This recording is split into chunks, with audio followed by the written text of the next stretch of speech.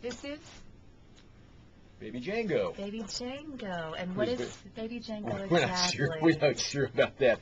It looks like a very contented little capuchin monkey to me, doesn't it? She's a She, capuchin. she looks pretty happy.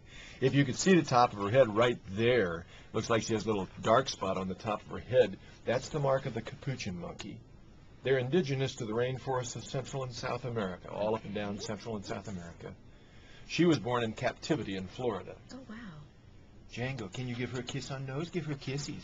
Jengo, can you give a kiss? Give mommy a kiss on nose. Give her, hey, Jengo, give her a kiss.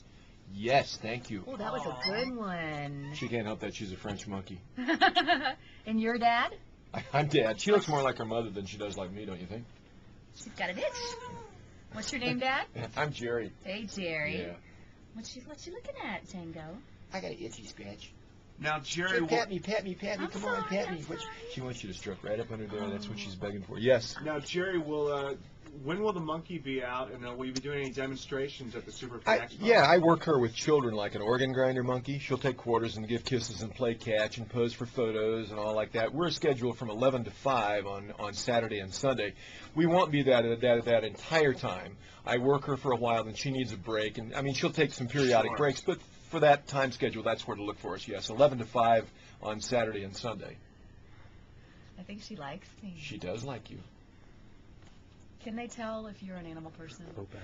Yeah, sure. Her problem is she's so precocious. She Yeah. grew up with humans, so she thinks everybody knows her and knows what to expect.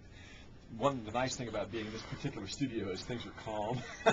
We've been in some of the studios where it's really hyper. She Oh, gets no. hyper. She wants to play with everybody in roughhouse. And the thing is, she they play really rough. She could play with some person, and if if you, you didn't know what was going on, it, monkey play looks like attack. It doesn't look like play. If you're used to it, it's fun. If you're not used to it, it's scary. So this is very nice for her to be sort of calm and, and hanging out All right, like a well, little monkey gorilla. you can see Jang, Jengo? Jengo. Jengo at the Super Pet Expo. Jengo, look, there's Eric. Hi, Eric. At the Dulles Expo Hi. Center. More details on our events page. Bye-bye. Come to daddy. Come.